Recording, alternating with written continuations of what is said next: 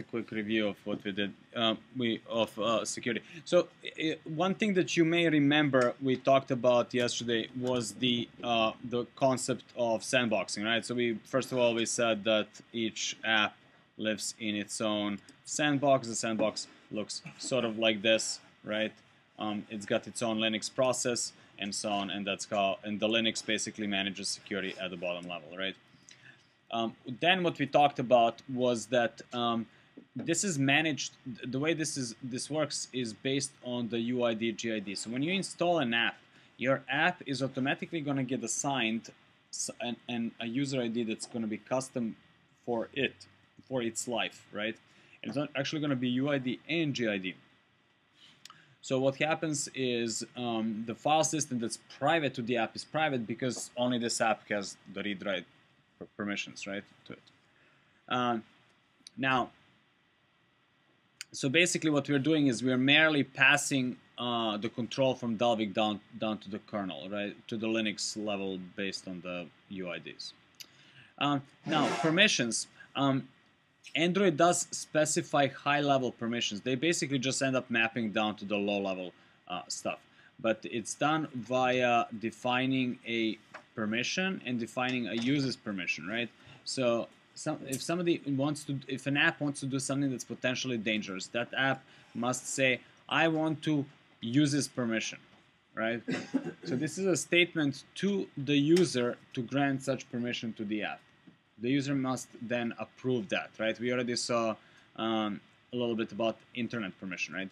So what happens next is that um, if the if the permission is granted, the app, or more specifically that app ID, that app 47, that UID, is, is assigned to that group as well. So for example, internet permission has a group INET, right? So when you grant an app permission to access internet, you're essentially putting app 47 process into the INET group,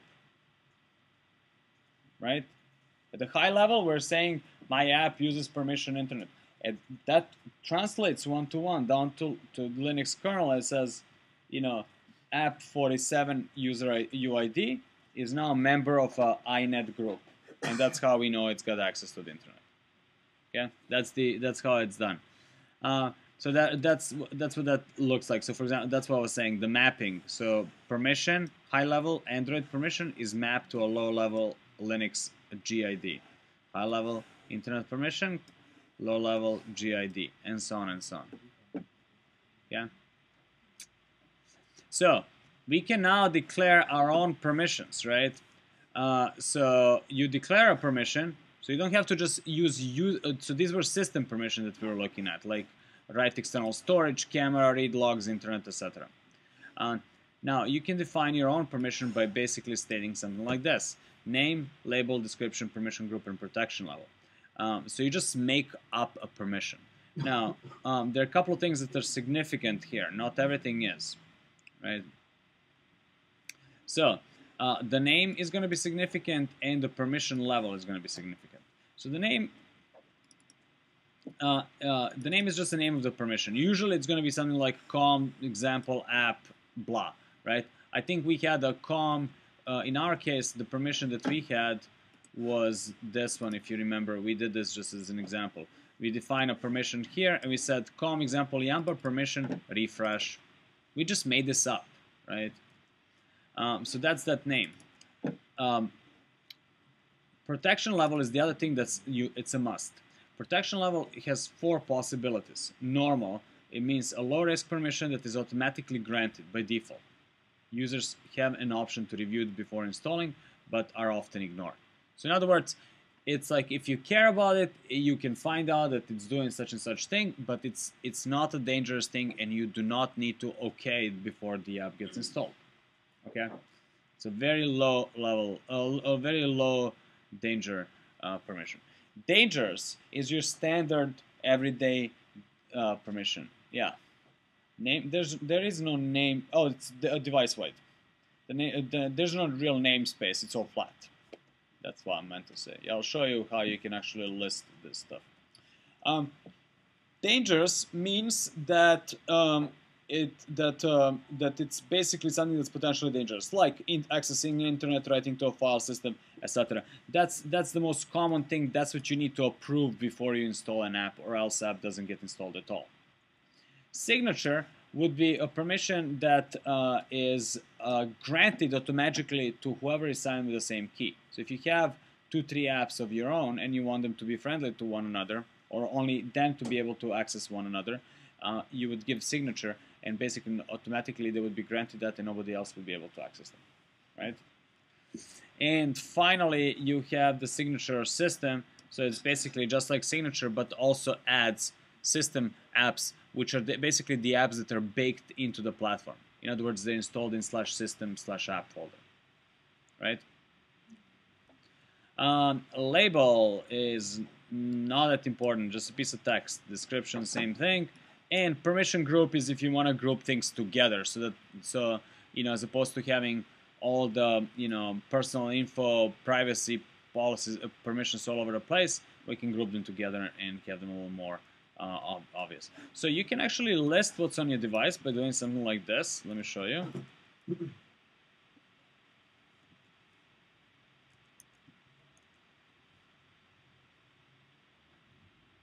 So right now I'm listing all the available permissions on my device, right? So you can see, for example, I don't know, this this and this is categorized. So this would be uh, the uh, the what do you call that? The uh, permission group, your location. So these are the permissions, i.e. their description in for your location. Mock, location sources for testing. Access as extra location providers. Provider commands. Coarse. Fine. Okay. Services that may cost you money, send SMS, direct phone, uh, directly call phone uh, phone numbers, and so on and so on.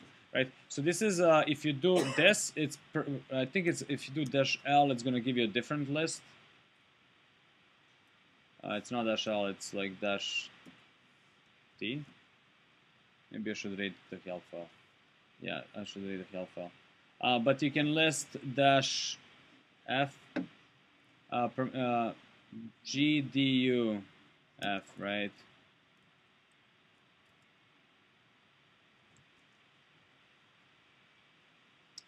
So this is grouped differently by name, right? So you can kind of see the permission names, right? So, for example, all the permissions related to storage here, all the permissions related to phone calls here, all the permissions related to hardware controls here, etc., etc. Make sense? Um, so that's those are the built-in permissions. Requiring a permission. So you can require a permission in your uh, in your app, right? So just like I said yesterday, um, or whenever we talked about it here, right? It's kind of like a yin and yang. You have one app and you have another app, two separate processes, right? This is like a Chinese wall here, right? So this app says if you want to, it's got a service, right? If you want to start this service, stop this service, bind to this service, do anything with this service, you better possess this permission that I'm requiring. Right? So they need to match. If there is a match between these two, then this guy is going to be granted access to the service. Otherwise, it won't. Make sense? So that's that looks like this. So for activity, you can control start activity. For service, you can control start, stop, or bind service. For provider, you, we haven't talked about them yet. For receiver, you get to control register receiver and send broadcasts. Um, and it looks like that. You can also uh, you can also uh, check permissions programmatically. So, for example, you may not want to. Uh, you may say, "Look, it's not like I don't want anyone to be able to access refresh service, right? Maybe uh, maybe everyone can access the refresh service, but only only certain apps are allowed to access it between nine and five, because that's a busy time, and I don't want to be re refreshing uh, the data, and maybe my rate plan with whatever carrier I have doesn't allow that, blah blah blah, right? So how do you say enforce a permission between 9 and 5 p.m. Right? You can't really put it in a man manifest file. So you can do it programmatically, right? So you could you have this uh, Java, mm, you know, helpers. Uh, check calling permission, check permission, check permission, blah, blah, blah. So you can basically say check calling permission, bam. You can do some business logic and if you don't like what they're doing, you can throw a security exception and bounce them out. Okay. Don't worry about that. And so yeah, so that's that's a little bit about uh, that's a little bit about uh, permissions.